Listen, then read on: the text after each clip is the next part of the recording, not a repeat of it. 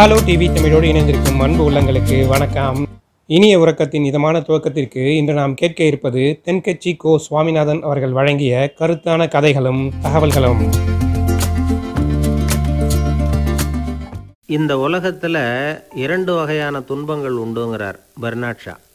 நாம் ஆசைப்பட்டது கிடைக்கலன்னா அதனால் வர்ற துன்பம் ஒரு வகை. நாம் ஆசைப்பட்டது கிடைச்சிட்டுதுன்னா அதனால் வர்ற துன்பம் ஒரு வகை. அது எப்படி? ஆசைப்பட்டது கிடைக்கலன்னா துன்பங்கிறது சரி. ஆசைப்பட்டது கிடைச்சிட்டுதுன்னா அது இன்பம் தானே? அது எப்படி துன்பமாகும்? கொஞ்சம் யோசனை பண்ணி பார்த்தா இதை சுலபமாக புரிஞ்சுக்கலாம்.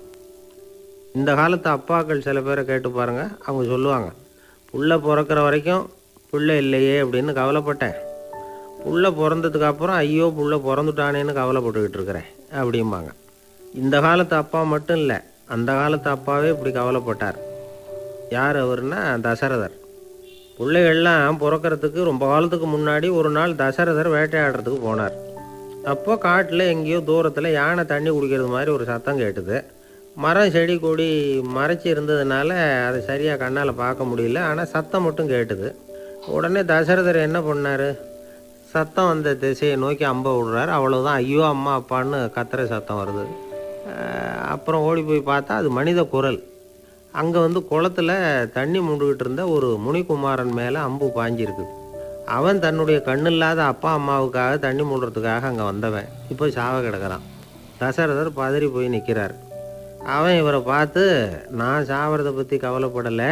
கண்ணில்லாத எங்கள் அப்பாவும் அம்மாவும் அதுவும் அந்த மரத்தடியில் இருக்கிறாங்க. அவங்க குடிக்கிறதுக்கு இந்த தண்ணியை கொண்டுகிட்டு போய் கொடுங்க அப்படிங்கிறான். அந்த கண்ணில்லாத முனிவர் தசரதனுக்கு சாபம் கொடுக்குறார்.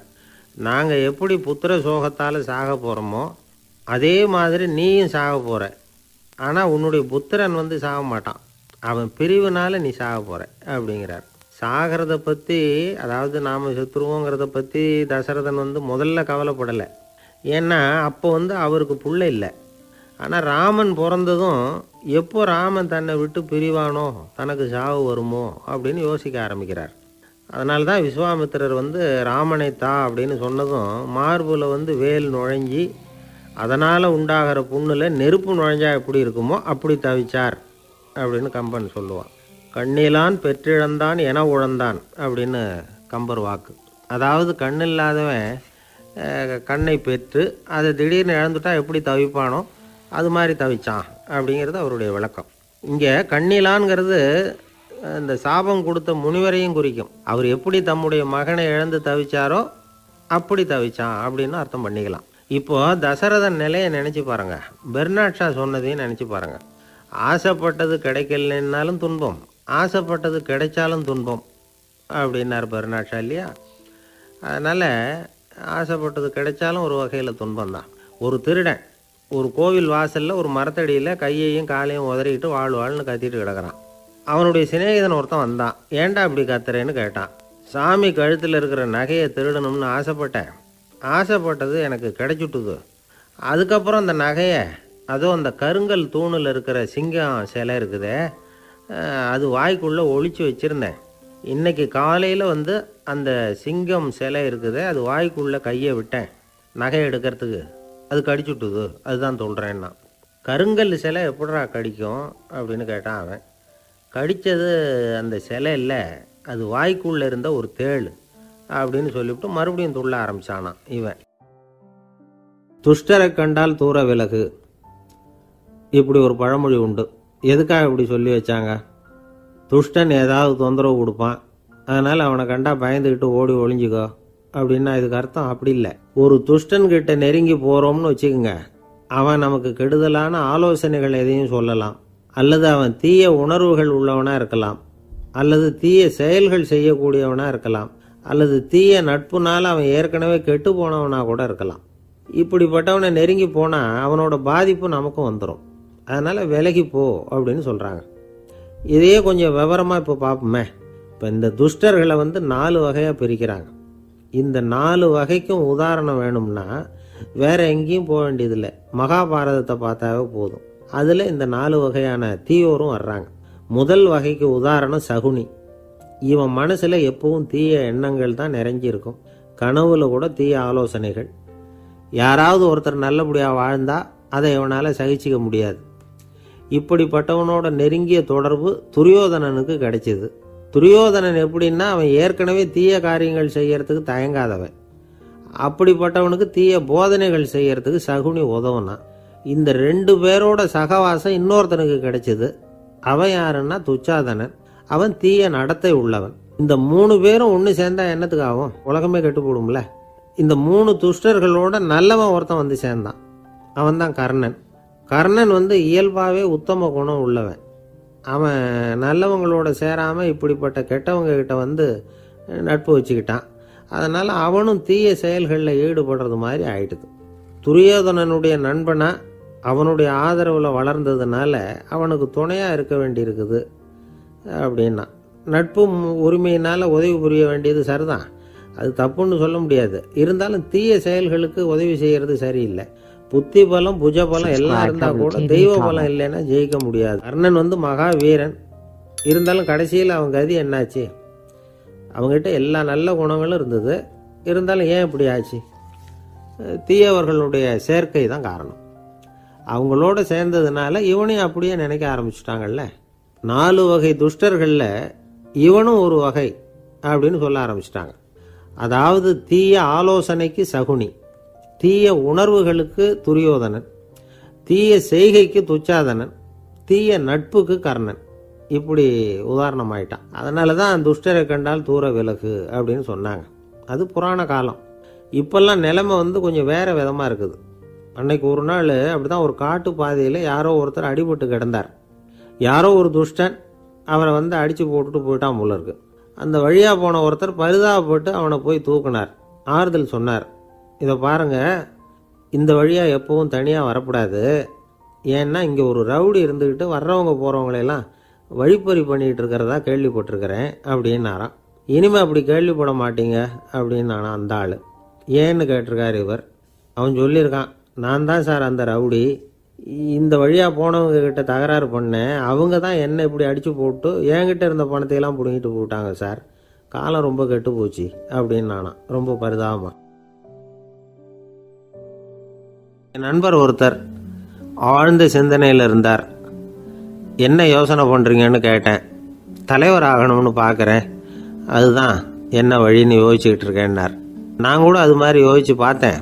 அதுக்கப்புறம் அந்த யோசனையை கை விட்டுட்டேன் அப்படின்னோம். ஏன்னு கேட்டார். அதுக்கான தகுதிகள் நமக்கு இல்லைங்கிறது புரியுது. அது நமக்கு புரியறத விட நம்ம விட மற்றவங்களுக்கு நல்லா புரிஞ்சு போச்சு. அதனால் பேசாமல் கம்முன்னு இருந்துடுறது தான் நல்லது அப்படின்னோம். தலைவர் ஆகிறதுக்கு தகுதிகள் வேறு உண்டோ அப்படின்னு கேட்டார். அவர் யதார்த்தமாக தான் கேட்குறார் நாங்கள் உடனே எங்ககிட்ட இருந்த ஒரு புஸ்தகத்தை எடுத்து அவர்கிட்ட கொடுத்தோம். படித்து பாருங்கன்னு. தலைவர் ஆகிறதுக்கு என்ன வழி? அப்படிங்கிறத பற்றி அதில் போட்டிருக்கிறாங்க. முதல் வழி என்ன தெரியுமா? ஒரு நாலு பேர் முன்னாடி இல்லைன்னா ஒரு கூட்டத்துக்கு முன்னாடி நீங்கள் பேச போகிறீங்க அப்போ எப்படி ஆரம்பிக்கணும்னா உண்மையான புகழ்ச்சி நேர்மையான பாராட்டு இதோடு ஆரம்பிக்கணும். எடுத்ததுமே அது சரியில்லை இது சரியில்லைன்னு பேசிக்கிட்டு இருக்கக்கூடாது மக்களை பார்த்து நீங்கள் தான் தப்பு பண்ணிவிட்டீங்க அப்படின்னு நேரடியாக சொல்லக்கூடாது. தவறு இருந்தாலும் அதை வந்து மறைமுகமாக ஏதாவது கதை சொல்லி அதிலிருந்து அவங்க புரிஞ்சுக்கிற மாதிரி செய்யணும். அடுத்தவங்க பண்ண தப்பு என்னன்னு அலசறதுக்கு முன்னாடி நீங்கள் பண்ணின தப்பு என்னங்கிறத பற்றியே பேசுங்க. எதுக்கும் நேரடியாக உத்தரவு போட்டுக்கிட்டு இருக்கக்கூடாது இதை நீங்கள் செய்யணும் அப்படின்னு சொல்கிறதுக்கு பதிலாக நீங்கள் இப்படி செஞ்சால் எப்படி இருக்கும்? அப்படின்னு கேள்வி மாதிரி கேட்கணுமா? இப்படி கேட்டால் அது உத்தரவு மாதிரி தெரியாதான். அடுத்தவங்க மரியாதையை காப்பாத்துறது மாதிரி பேசணுமா? உங்கள் பேச்சு இன்னொருத்தரை வந்து அவமானப்படுத்துறது மாதிரி இருக்கக்கூடாதான். ஏன்டா இவங்கிட்ட போய் மாட்டிக்கிட்டோம்னு யாரும் நினச்சிடக்கூடாது. ஒவ்வொரு சின்ன வளர்ச்சியையும் பாராட்டணும். வெற்றி வந்து சாதாரணமாக இருந்தாலும் பாராட்டாமல் இருந்துடக்கூடாது. பாராட்டும் பொழுது தாராளமாக இருக்கணும். குறை சொல்லும் பொழுது கவனமாக இருக்கணும். வாய்க்கு வந்தபடி பேசிவிட்டா அதுக்கப்புறம் வகையாக மாட்டிக்கிட்டு முழிக்க வேண்டியிருக்கும். நீங்கள் பேசுகிறது இன்னொருத்தருக்கு ஒரு கௌரவத்தையும் மரியாதையும் உண்டு பண்ணுறது மாதிரி இருக்கணும். நீங்கள் பேசுகிறது அடுத்தவங்களுக்கு இருக்கிற கொஞ்ச நெஞ்ச மரியாதையும் எடுத்து விடுறது மாதிரி இருக்கக்கூடாது. உங்கள் பேச்சை கேட்டால் கேட்குறவங்களுக்கு ஒரு ஊக்கம் வரணும் உற்சாகம் வரணும். தவறு எதுவாக இருந்தாலும் அதை சுலபமாக திருத்திக்கலாம் சரி பண்ணிக்கலாங்கிறது மாதிரி இருக்கணும் உங்கள் பேச்சு. அடுத்தவங்களை சந்தோஷப்படுத்துங்க. உங்கள் யோசனையை கேட்டு நடந்துக்கிறதுனால அந்த சந்தோஷம் அவங்களுக்கு கிடைக்கணும். இந்த தகுதியெல்லாம் உங்ககிட்ட இருந்தால் நீங்கள் ஒரு சிறந்த தலைவர் ஆகலாம் அப்படின்னு அந்த புஸ்தகத்தில் போட்டிருக்குது இந்த காலத்தில் வந்து தலைவர் ஆகிறதுக்கு வேறு சில தகுதிகள்லாம் கூட தேவைப்படுது. ஒரு புள்ள வந்து தன்னுடைய அப்பா கிட்ட அப்பா உன்ன மாதிரியே நானும் அரசியலில் சேரணும் தலைவர் ஆகணும்னு ஆசைப்படுறேன். இன்னையிலேருந்து எனக்கு அரசியல் பாடம் கற்றுக் கொடு அப்படின்னு கேட்டிருக்கான். அவரும் சரின்னு சொல்லிவிட்டு ஒரு பெரிய ஏணி எடுத்துகிட்டு வந்தாரான் ஒரு செவத்தில் சாத்தினார். இந்த ஏணியில் ஏறி உயர போய் அங்கே பரன் மேலே இருக்கிற ஒரு புத்தகத்தை எடுத்துகிட்டு வாடான்னு இருக்கார் மகனை பார்த்து அப்பா ஏணி ரொம்ப உயரமாக இருக்குது. நீ ஜாக்கிரதையாக இதை பிடிச்சிக்கோ. நான் ஏறி போகிறேன் அப்படின்னு நான் பையன். பயப்படாத நான் பார்த்துக்கிறேன்னாரு அப்பா. பையன் ஏணியில் ஏறினா உச்சிக்கு போனதும் அப்பா கையை எடுத்துட்டார். ஏணி அப்படியே சரிஞ்சுட்டுது. பையன் பொத்துன்னு கீழே விழுந்துட்டான். இடுப்பு பிடிச்சிக்கிட்டே எழுந்திரிச்சான். என்னப்பா இது? இப்படி என்னை ஏற விட்டுட்டு கையை விட்டுட்டியே? இப்படி கை விடலாமா? அப்படின்னு கத்தியிருக்கான். அப்பா நிதானமாக சொன்னாராம். அவசரப்படாதப்பா. அரசியலில் இதுதான் முதல் பாடம். பெத்த அப்பனா இருந்தாலும் அவனை நம்பாதே அப்படின்னு உபதேசம் பண்ண ஆரம்பிச்சாராம். ஒரு இலக்கிய கூட்டம் ஏற்பாடு பண்ணியிருக்கிறோம். நீங்கள் அவசியம் வந்து அதில் பேசணும் அப்படின்னு கேட்டுக்கிட்டார் ஒருத்தர். வேணாங்க நாலு பேருக்கு முன்னாடி வந்து நிற்கிறதுனா எனக்கு ரொம்ப கூச்சமாக இருக்கும் அப்படின்னாரு இவர். ஏன் சார்? இன்னமும் குழந்த மாதிரி கூச்சப்படுறீங்களே அப்படின்னார் அவர். அவர் ஒரு மாதிரியாக சமாளித்து அனுப்பி வச்சுட்டு அதுக்கப்புறம் அதை பற்றி இவர் யோசித்து பார்த்துருக்கார். சில நிபுணர்கள் எழுதியிருக்கிறத படித்தும் பார்த்துருக்கிறார். மனோதத்துவ நிபுணர்கள் என்ன சொல்கிறாங்க தெரியுமா? பத்துலேருந்து இருபது சதவீதம் குழந்தைகள் பிறக்கிறப்பவே கூச்ச சுபாவம் கொண்டதாக தான் இருக்குதான். ஒரு தாத்தா தன்னோட பேர பிள்ளைய ஆசையாக கூப்பிடுறார். விளையாட்டு காட்ட அதை அழுதுகிட்டு ஓடி போகுது. ஒரு அம்மா தன்னோட பிள்ளைய பள்ளிக்கூடத்தில் சேர்க்கறதுக்காக கூப்பிட்டுக்கிட்டு போகிறாங்க அந்த புள்ள அம்மாவோட முந்தானையில் ஒளிஞ்சிக்கிட்டு வெளில வர மாட்டேங்குது இவங்களெல்லாம் எப்படி சமாளிக்கிறது? குழந்தைகளோட கூச்ச சுபாவத்தை போக்குறது எப்படி? இதுக்கு நிபுணர்கள் சில யோசனைகளை சொல்லியிருக்கிறாங்க. மற்றவங்களுக்கு முன்னாடி என் பையனுக்கு கூச்சம் ரொம்ப அதிகம் சார். மற்றவங்க பார்த்தா ரொம்ப வெக்கப்படுறான். இப்படி சொல்கிற அப்பாக்கள் உண்டு. என் பையன் புது மனுஷால பார்த்தா அட்டையாக ஒட்டிக்குவான் சார். அப்படின்னு சொல்கிற அப்பாக்களும் உண்டு. இப்படிலாம் குழந்தைகளுக்கு வந்து முத்திரை குத்துறது ரொம்ப தப்பான் புதுசாக யாராவது வீட்டுக்கு வந்தால் குழந்தை தானாக தன்னோட கூச்சத்தையும் பயத்தையும் போக்கிக்கிட்டு சகஜமாக மாறி வர்றதுக்கு வாய்ப்பு கொடுக்கணுமா? ஒரு கூட்டத்துக்கோ அல்லது சொந்தக்காரங்க கல்யாணத்துக்கோ குழந்தைய அழைச்சிட்டு போகிறீங்க அங்கே போய் கட்டாயப்படுத்தி குழந்தைய மற்றவங்க கிட்ட பேச சொல்லக்கூடாது சில சமயம் குழந்தை தானாக தன்னுடைய கூச்ச சுபாவத்தை விட்டு பேசுறதுக்கு முன் வந்தால் அதை பாராட்டணும். குழந்தை கலகலப்பு இல்லாமல் மௌனமாக இருந்ததுன்னா அதையும் கண்டுக்கக்கூடாது. குழந்தை பேச ஆரம்பித்தா அதை ஆர்வத்தோடு கவனிக்க தெரியணும். கலந்து உரையாடுற பழக்கத்தை வீட்லேயே ஆரம்பிக்கலாம். கேட்டதுக்கு பதில் சொல் அப்படின்னு நீங்கள் அதிகாரம் பண்ணிகிட்டு இருக்கக்கூடாது அது வந்து குழந்தைக்கு பேசுகிற சந்தர்ப்பத்தை குறைச்சிருமா. இப்போ நாம் அதிகாரம் பண்ணால் கேலி செய்கிற பழக்கம் குழந்தைகளை வந்து ரொம்ப பாதிச்சிருமா.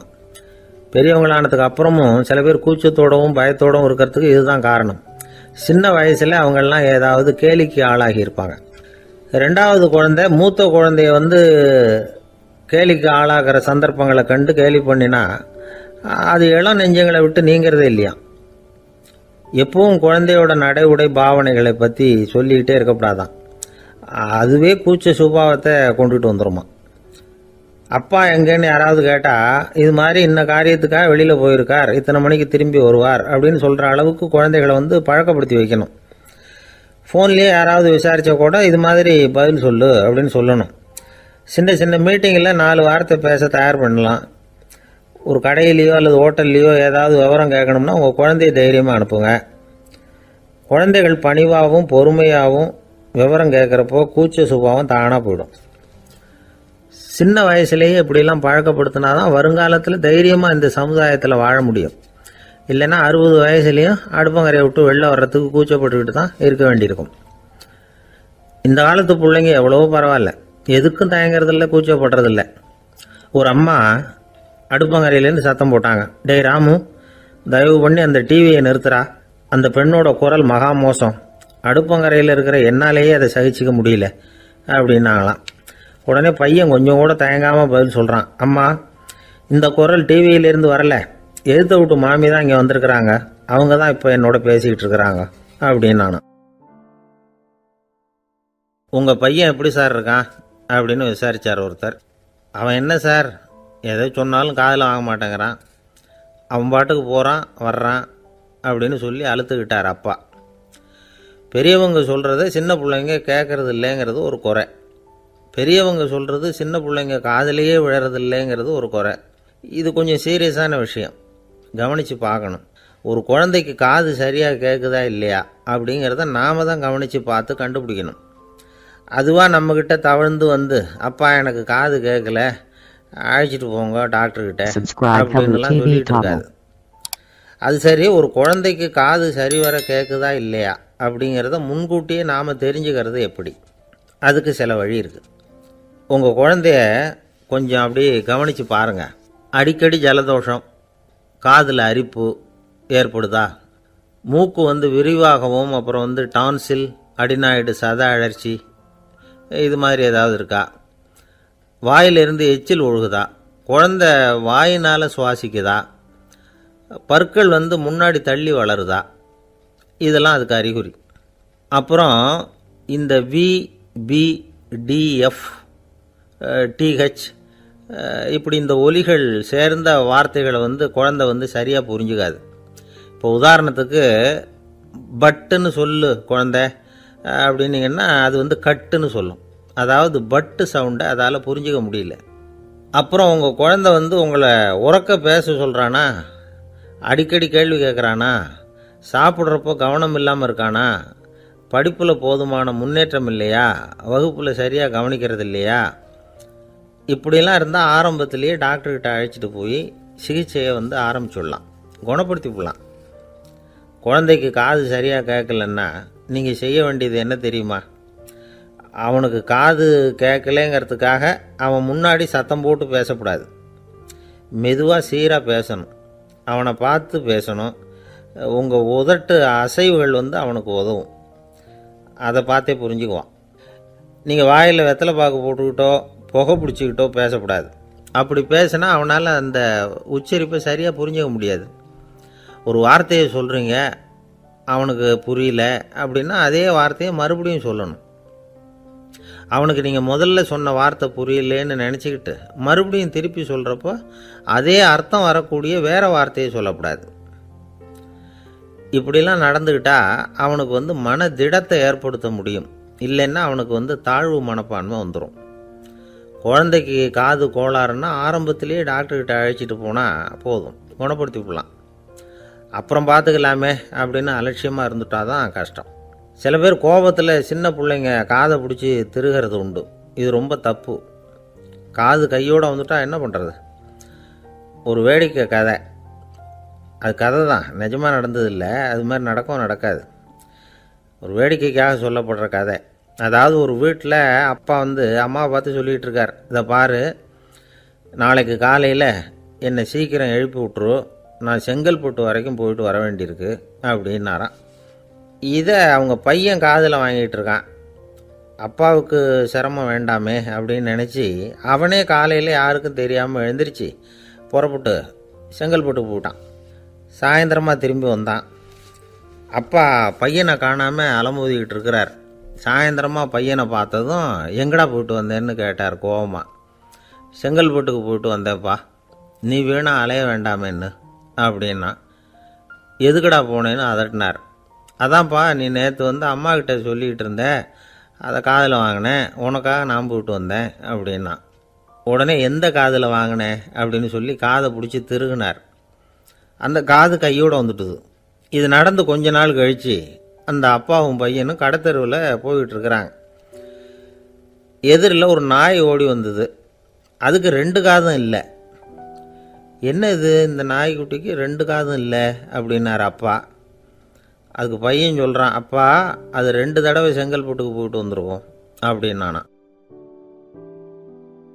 ஒருத்தர் முகத்தை தொங்க போட்டுக்கிட்டு ஒரு மாதிரியாக வந்தார். என்ன விஷயம்னு விசாரித்தேன் என்னுடைய நண்பன் ஒருத்தங்கிட்ட கருத்து வேறுபாடு இனிமேல் நமக்குள்ளே எந்த சம்மந்தமும் வேணாம்னு நட்பை முறிச்சிட்டு வந்துட்டேன்னா நண்பர்கள்னு இருந்தால் கருத்து வேறுபாடு வரத்தான் செய்யும்னே கருத்து வேறுபாடு வராமல் இருக்கிறதுக்கு ஏதாவது வழி உண்டா அப்படின்னு கேட்டாங்க. அதை பற்றி நிபுணர்கள் சில யோசனைகளை சொல்லியிருக்கிறாங்கன்னு. முதல் விஷயம் என்னென்னா உங்கள் நண்பனுக்கு ஒரு செய்தி சொல்லணும்னா அதை நீங்களே நேரடியாக சொல்லுங்கள் அல்லது உங்கள் கைப்பட கடிதம் எழுதுங்க. அதாவது நேரடி தொடர்பு முக்கியம். அதை விட்டுட்டு இன்னொருத்தர் மூலமாக நண்பர்களுக்கு செய்தி அனுப்புனா நீங்கள் சொல்கிற செய்தி அப்படியே போய் சேராது. அது சேதமாயிடும். அதை கூட்டி குறைச்சி சொல்லிவிடுவாங்க அது குழப்பத்தில் கொண்டாந்து விட்டுரும். இது ஒரு யோசனை. ரெண்டாவது யோசனை என்னென்னா நீங்கள் ஒரு நல்ல காரியத்தை செய்யும் பொழுது உங்கள் நண்பரையும் சேர்த்துக்குங்க. அவருக்கும் அதில் ஒரு ஈடுபாட்டை உருவாக்குங்க. மூணாவது யோசனை நம்ம பக்கத்தில் இருக்கிற நண்பர் மகிழ்ச்சி அடைகிற மாதிரி ஏதாவது செய்யணும். சின்ன சின்ன செயல்களாக இருந்தாலும் பரவாயில்ல. அவர் நமக்கு எதுவும் செய்யலையே நாம் எதுக்கு செய்யணும் அப்படின்னு நினச்சிக்கிட்டு இருக்கக்கூடாது நாலாவது யோசனை என்னென்னா உங்களுக்கு ஒரு பிரச்சனையா? அல்லது உங்கள் நண்பருக்கு ஒரு பிரச்சனையா? எதுவாக இருந்தாலும் ரெண்டு பேரும் சேர்ந்து உட்காந்து ஆலோசனை பண்ணுங்கள் நம்ம யோசனையும் கேட்கப்படுதே அப்படிங்கிற நினைப்பே அவருக்கு வந்து ஒரு மன நிறைவை உண்டாக்குமா? ஐந்தாவது யோசனை உங்கள் நண்பர் ஏதோ ஒரு காரியத்தை செய்கிறார். நீங்கள் உடனே அவசரப்பட்டு நீ செய்கிறது தப்புன்னு தீர்ப்பு சொல்லக்கூடாது. அவர் அதை செய்யறதுக்கான நியாயங்கள் எவ்வளோ இருக்கும். அதை புரிஞ்சுக்கிறதுக்கு முயற்சி பண்ணணும். ஆறாவது யோசனை உங்கள் நண்பர் என்ன சொன்னாலும் அதை பொறுமையாக கேளுங்க. அவர் சொல்கிறத புரிஞ்சுக்கணும். அவர் சொல்ல விரும்புகிறத புரிஞ்சுக்கணும். அவர் சொல்ல முடியாமல் தவிக்கிறதையும் புரிஞ்சுக்கணும். இப்படி மூணு விதமாகவும் அவரை புரிஞ்சுக்கிட்டு அதுக்கு தகுந்த மாதிரி செயல்படணும். ஏழாவது யோசனை என்னென்னா உங்கள் நண்பர் உங்ககிட்ட வந்து ஏதோ ஒரு கருத்தை சொல்கிறார் அது உங்களுக்கு பிடிக்கல. அதுக்காக உடனே நீ சொல்கிறது சரியில்லை. நான் ஒத்துக்க மாட்டேன். அப்படின்லாம் மறுத்துக்கிட்டு இருக்கக்கூடாது. அவர் சொல்கிறத கேட்கணும் பொறுமையாக சிந்திக்கணும் அதுக்கப்புறம் பதில் சொல்லணும். இப்படிலாம் நடந்துக்கிட்டால் நண்பர்களுக்குள்ள கருத்து வேறுபாடு வர்றதுக்கு வாய்ப்பே இருக்காது அப்படின்னு வல்லுநர்கள் தொகுத்து சொல்லியிருக்கிறாங்க இந்த யோசனைகளை. எனக்கு தெரிஞ்ச சில நண்பர்கள் உண்டு. அவங்களுக்குள்ளேயும் கருத்து வேறுபாடுகள் வராமல் இருக்கிறதுக்கு சில நுட்பங்களை கையாளுறது உண்டு. ஒருத்தர் சொன்னார் அந்த டாக்டர் சின்ன வயசுலேருந்து என் கூட பழகினவர். நாங்கள் ரெண்டு பேரும் இணை பிரியாத நண்பர்கள். இருந்தாலும் எனக்கு உடம்பு சரியில்லைன்னா நான் அவர்கிட்ட வைத்தியம் பார்த்துக்க மாட்டேன் அப்படின்னார் ஒருத்தர். ஏன் அப்படின்னு கேட்டேன். எங்கள் நட்பு கெட்டுப்படக்கூடாது இல்லையா? அதனால தான் அப்படின்னார் இவர். ஒரு பள்ளிக்கூடம் வகுப்பு நடந்துக்கிட்டு இருக்கு. ஆசிரியர் பாடம் நடத்திக்கிட்டு இருக்கிறார். நடத்தி முடித்த உடனே கேட்டார் மாணவர்களே இதுவரைக்கும் நான் நடத்தின பாடத்தில் உங்களுக்கு ஏதாவது சந்தேகம் இருக்கா? அப்படின்னு கேட்டார். அப்புறம் ஒவ்வொருத்தராக கேட்டார். ஒரு மாணவன் எழுந்திருச்சான் சார் எனக்கு சந்தேகம் எதுவுமே இல்லைன்னா. ஏன்னு? கேட்டார். ஏன்னா எனக்கு நீங்கள் நடத்தின பாடம் தெளிவாக புரிஞ்சுட்டுது. அதனால் சந்தேகம் வரலன்னா. இன்னொரு மாணவன் எழுந்திருச்சான் சார் எனக்கும் சந்தேகம் எதுவும் இல்லைன்னா. ஏண்டான்னு? கேட்டார். ஏன்னா எனக்கு நீங்கள் நடத்தின பாடம் எதுவுமே புரியல. அதனால் சந்தேகம் வரல. அப்படின்னா. இந்த இடத்துல நாம் கொஞ்சம் சிந்திச்சு பார்க்கணும். இந்த உலகத்தில் எல்லாம் புரிஞ்ச ஒருத்தனுக்கும் சந்தேகம் வராது. எதுவுமே புரியாத ஒருத்தனுக்கும் சந்தேகம் வராது. அறகுறையாக புரிஞ்சுக்கிட்டவன் இருக்கான் பாருங்க அவனுக்கு தான் அடிக்கடி சந்தேகம் வரும். ஆக மாணவர்களை இந்த மூணு வகையாக பிரிக்கலாம். அதே மாதிரி தான் மனிதர்களையும் மூணு வகையாக பிரிக்கிறாங்க ஆன்மீகவாதிகள். ஒரு ஆன்மீக பெரியவர் என்ன சொல்கிறார் தெரியுமா? இந்த உலகத்தில் மூணு வகையான மனிதர்கள் இருக்கிறாங்களாம். முதல் வகை எப்படி தெரியுமா? இவங்களுக்கு எதையும் தெரிஞ்சுக்கணுங்கிற அவசியமே கிடையாது. ஏன்னா அவங்களுக்கு எல்லாமும் தெரியும். இவங்க வந்து ஞானத்தின் முழு வடிவாக இருக்கிற காரணத்தினால அவங்களுக்கு எந்த சந்தேகமும் இல்லை. எந்த கேள்விகளும் கிடையாது. இந்த நிலையில் இருக்கிறவன் கிருஷ்ணன். எல்லாத்துக்கும் விட தெரிஞ்சுக்கிட்ட நிலையில் அவன் வந்து விடையாக மாறிவிட்டான் அப்படின்னு சொல்லுவாங்க. ரெண்டாவது நிலையில் இருக்கிறவன் அர்ஜுனன். இவனுக்கு எப்போ பார்த்தாலும் கேள்விதான் சந்தேகம்தான். பதில் சொல்ல சொல்ல அவனுக்கு இருக்கிற சந்தேகமும் அதிகமாகிக்கிட்டே இருக்கும். குறையவே குறையாது. அர்ஜுனன் மாதிரி உள்ளவங்க எப்பவும் கேள்வி கேட்டுக்கிட்டே இருப்பாங்க. ஒரு கேள்விக்கு விட கிடைச்சுட்டுன்னு வைங்க. உடனே இன்னொரு கேள்வி அவங்கக்கிட்ட இருந்து வரும். கிருஷ்ணனுடைய நிலை எப்படின்னா அது கேள்விகளே அற்ற ஒரு நிலை. அர்ஜுனனுடைய நிலை எப்படின்னா அது கேள்விகளை தவிர வேறு எதுவும் அற்ற ஒரு நிலை. இவங்களை தவிர இன்னொரு ஆள் இருக்கிறான். அவனுக்கும் கேள்விகள் அற்ற ஒரு நிலை தான் அவன் யாருன்னா துரியோதனன். இவனுக்கு தெரிஞ்சுக்கணுங்கிற எண்ணமே சுத்தமாக கிடையாது. ஆவலே இல்லைங்கிறதுனால அதை புரிஞ்சுக்கணுங்கிற அவசியமும் இல்லை. அதனால் அவனுக்கு கேள்விகள் அற்ற ஒரு நிலையில் அவன் இருந்துக்கிட்டு இருக்கிறான். எல்லா பதிலும் தெரிந்து கொண்ட நிலையில் கிருஷ்ணனும் கேள்விகள் அற்ற நிலையில் இருக்கிறான். தெரிஞ்சுக்கணுங்கிற ஆவலே இல்லாத துரியோதனனும் கேள்விகள் அற்ற நிலையிலே இருக்கிறான். இப்படியும் இல்லாமல் அப்படியும் இல்லாமல் ரெண்டும் கெட்டான் நிலையில் இருக்கிறானே அவன் தான் அர்ஜுனன். அதனால் பெரியவங்கள்லாம் என்ன சொல்கிறாங்கன்னா இந்த உலகத்தில் அர்ஜுனன்களாக இருக்கிறவங்க ஒன்று துரியோதனனாக மாறிடணும் இல்லைன்னா கிருஷ்ணனாக மாறிடணும். இதை தவிர வேறு வாய்ப்பு இல்லை. துரியோதனன் மாதிரி உள்ளது விலங்கு நிலை கிருஷ்ணன் மாதிரி உள்ளது தெய்வ நிலை. அர்ஜுனன் வந்து விலங்காகவும் ஆக முடியல தெய்வமாகவும் ஆக முடியல. இப்படி ரெண்டும் கெட்டானா இருக்கிற வரைக்கும் இந்த கேள்விகளும் பிரச்சனைகளும் இருந்துக்கிட்டே தான் இருக்கும். இதுதான் பெரியவர்கள் சொல்லுகிற அனுபவ உண்மை. ஒரு ஆசிரியர் ரொம்பவும் விரிவாக விளக்கமாக பாடம் நடத்தின பிறகு மாணவர்களே ஏதாவது சந்தேகம் இருந்தால் கேளுங்கன்னாராம் ஒரு மாணவன் எழுந்திருச்சான் சார் எனக்கு ஒரு சந்தேகம்னா. என்னன்னு கேட்டார். இது வரைக்கும் என்ன பாடம் சார் நடத்துனீங்க? அப்படின்னா அந்த பையன். அந்த சீடன் வெளியூர் புறப்படுறதுக்கு தயாரா இருந்தான். ரொம்ப தூரம் போக போறான். திரும்பி வர நாளாகும். புறப்படுறதுக்கான ஆயத்த வேலைகளில் ஈடுபட்டிருந்தான் அந்த சமயம் பார்த்து இன்னொரு சீடன் அவங்கிட்ட வந்தான். நம்ம குரு உன்னை அழைச்சிட்டு வர சொன்னார் வா அப்படின்னு கூப்பிட்டான். இவன் உடனே புறப்பட்டு போனான். குருநாதரை பார்த்தான். அவர் காலில் விழுந்து வணங்கினான். வணங்கிவிட்டு எழுந்திருச்சான். அவ்வளவுதான். குரு ஏதாவது உபதேசம் பண்ணுவாருன்னு எதிர்பார்த்தான். ஆனால் நடந்தது என்ன தெரியுமா? குரு அவனுக்கு ஓங்கி ஒரு அடி கொடுத்தார். எதிர்பாராம இந்த அடியை வாங்கினதும் அந்த சீடன் அதிர்ந்து போயிட்டான். பக்கத்துல இருந்த மற்ற சீடர்களும் திகைச்சு போய் நின்னுட்டாங்க. அடி வாங்கின சீடனுக்கு மனசுக்குள்ள குழப்பம். நாம என்ன தப்பு பண்ணணும்? புறப்படுற நேரத்துல இப்படி குரு கிட்ட அடி வாங்குற மாதிரி ஆயிட்டுதே அப்படின்னு நினைச்சு மனசுக்குள்ள ரொம்ப வேதனைப்பட்டான்.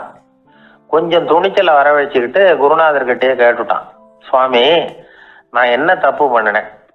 என்னை இப்படி அடிச்சுட்டீங்களே? ஒரு வார்த்தை கூட உங்களை எதிர்த்து நான் பேசினது இல்லையே இவ்வளவு காலமா உங்க விருப்பத்துக்கு விரோதமா ஒரு காரியம் கூட நான் செஞ்சது இல்லையே வந்ததும் வராததுமா? ஒண்ணுமே சொல்லாம என்ன அடிச்சுட்டீங்களே. குருவே நான் செஞ்ச குற்றம் தான் என்ன? அப்படின்னு கண்ணீரோட பரிதாபமா கேட்டானா அந்த சீடன் ஆனா அந்த குரு முகத்துல கொஞ்சம் கூட கோபம் இல்லை. அவர் சிரிச்சுக்கிட்டே நின்றுகிட்டு இருந்தாராம். அதுக்கப்புறம் சொன்னாராம் என்னுடைய அருமை சீடனே நீ ஒரு தவறும் பண்ணல. நான் உன்னை அடித்தது நீ ஏதோ தப்பு பண்ணிவிட்டேங்கிறதுக்காக இல்லை. நீண்ட பயணம் போக போகிறேன் ஞாபகமாக ஏதாவது கொடுத்து அனுப்ப வேணாமா? நீ ஞானம் பெற்ற பிறகு தான் திரும்பி வரப்போகிறேங்கிறது எனக்கு தெரியும். அதுக்கு பிறகு உன்னை வந்து அடிக்க முடியுமா? அதனால் இப்போ கிடைச்சிருக்கிற இந்த வாய்ப்பை பயன்படுத்திக்கிட்டேன். அப்போதைக்கு இப்போவே அடிச்சுட்டேன். அவ்வளவுதான். வேற ஒன்றும் இல்லை அப்படின்னாராம் குரு சிரிச்சுக்கிட்டே இப்படி சொல்கிறார் இருந்தாலும் இதுவும் ஒரு உபதேசம் தான் அதிர்ச்சிகளால வந்து விழிப்படைய வைக்கிறதும் ஒரு வழிதான். இது வந்து சென் வழி. பெரும்பாலும் அதிர்ச்சியின் மூலமாகவே ஞான தரிசனத்தை அருள்கிறவர்கள் தான் ஜென் குருமார்கள். நம்ம தியானம் தான் ஜென் இந்தியாவிலிருந்து இது சீனாவுக்கு போய் கொஞ்சம் பேர் மாறி வளம் பெற்று ஜப்பான்ல ஜென் ஆகி வளர்ந்துருக்குது. அவ்வளவுதான். ஜென்கிறது தியானம். எதை நினைச்சும் தியானிக்கிறது இல்லை எல்லாத்துலேயும் தியானம் இருக்கிறதா சொல்லுது ஜென் பேசுறது இருக்கிறது நடக்கிறது சாப்பிட்றது சிரிக்கிறது தூங்குறது தொழில் செய்கிறது அல்லது சும்மா இருக்கிறது எல்லாமே தியானம் தான் சென்கிறது ஒரு சுய தரிசனம். தன்னைத்தானே அடையாளம் கண்டுகொள்கிறது தான் அது. இல்லாத எதையும் தேடி கண்டுபிடிக்கிறது இல்லை சென் மார்க்கத்தை பத்தி ஓஷோ என்ன சொல்றாரு தெரியுமா? காணாமல் போன தன்னுடைய மூக்கு கண்ணாடி தன்னுடைய மூக்கின் மேல் இருப்பதை கண்டுகொள்வது போன்றது சென் அப்படிங்கிறார். நம்மால் ஒருத்தர் இன்னொருத்தர் முகத்தை ரொம்ப நேரமா ஒத்து பார்த்துக்கிட்டு இருந்தார். என்ன பார்க்குறீங்கன்னாரு அவர்? நீங்கள் போட்டிருக்கீங்களே மூக்கு கண்ணாடி அதை தான் பார்க்குறேன்னாரு இவர். நீங்கள் அப்படி பார்க்கறதுக்கு விசேஷ காரணம் ஏதாவது உண்டான்னு கேட்டார் இவர். உண்டுன்னார். என்னன்னு கேட்டார். நேத்திக்கு காணாமல் போன என்னோட மூக்கு கண்ணாடி அது அப்படின்னாராம் இவர். இந்த பதிவு இத்துடன் நிறைவடைகிறது. நாளை மீண்டும் சந்திப்போம். நன்றி வணக்கம்.